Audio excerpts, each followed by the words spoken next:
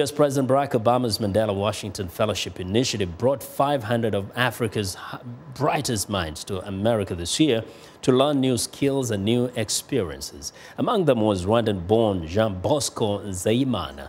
His idea to compost household trash into cleaner cooking fuel for poor families has won him several international innovation awards.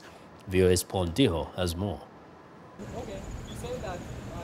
21-year-old Jean Bosco Nzeyimana is the founder and CEO of Habona Limited, a Rwandan startup trying to address the lack of electricity in his rural village of Kitabi.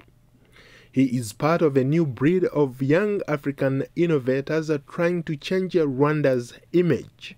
I have a company back home called the Habona Limited. It does a lot of work regarding waste management, uh, whereby we collect waste and after collecting the waste we use them to produce affordable and environmentally friendly products uh, in the form of uh, biomass briquettes. Jean Bosco's fascination with biogas started when he was a young boy and his vision to create a biogas plant that can transform organic waste into flammable gas that can be distributed to the local population for their energy needs.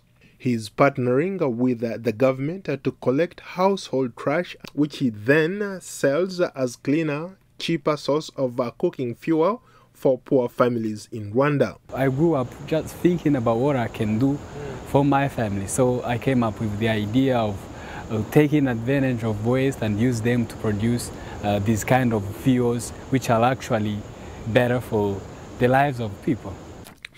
In his village, uh, he's just a regular guy. In fact, uh, very few people know about his innovation that is generating a buzz on the international scene. Jean Bosco was crowned last year as the winner of the Africa Innovation Prize and uh, also recognized in 2014 as a top young entrepreneur in Rwanda. Being recognized as the top young entrepreneur of Rwanda was very, very good for me because, you know, it showed me that I'm doing meaningful things.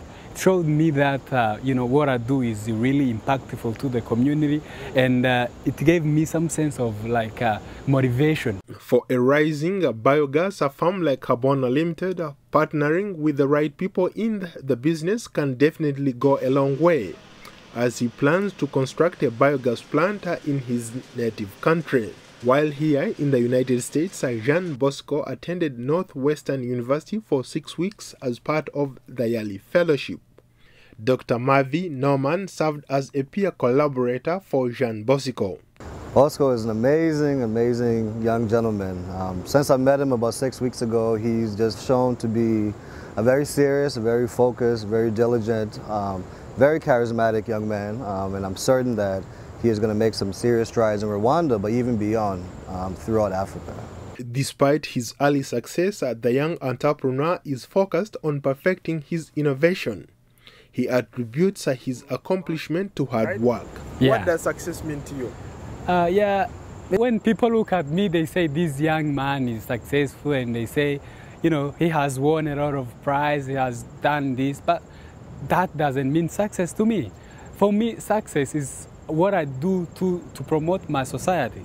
Success means uh, what I'm doing, how I'm working hard at my company. The full implementation of this project will enable his company, Habona, to distribute biogas and biofertilizer to more than 500,000 households. For a young man whose dreams are big, the sky is the limit. Paul Ndiho, VOA News.